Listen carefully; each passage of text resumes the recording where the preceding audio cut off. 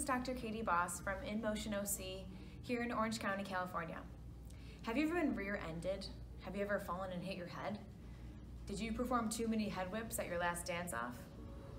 You may be experiencing some pain from what's called whiplash. Whiplash is characterized by a forceful motion of your head, either side to side or front and back. It's a very common condition and many people come into the clinic with experiencing pain in their neck, shoulders, and sometimes even chest and back and spine. Some of, the, um, some of this pain is related to some of the injury due to the muscles, ligaments, or other tissues in this area. Um, some of the most common symptoms include neck pain, difficulty moving your head, dizziness, and sometimes even tingling into the arms and fingertips. Physical therapy can help this condition by using hands-on manual therapy to minimize pain, improve your flexibility, restore motion, and increase your strength to allow you to get back to what you love to do.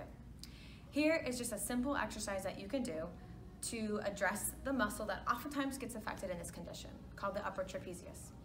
Here we go, sitting. I usually like to put my hand underneath my seat here so it stabilizes my shoulder.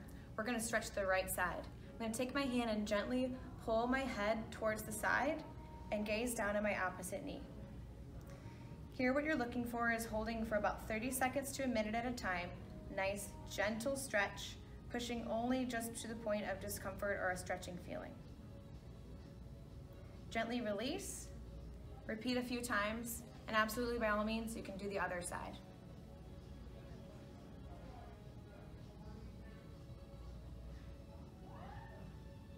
Hope this helps. Please click on the link below and maybe we'll see you in the clinic to help you on your road to recovery. Bye.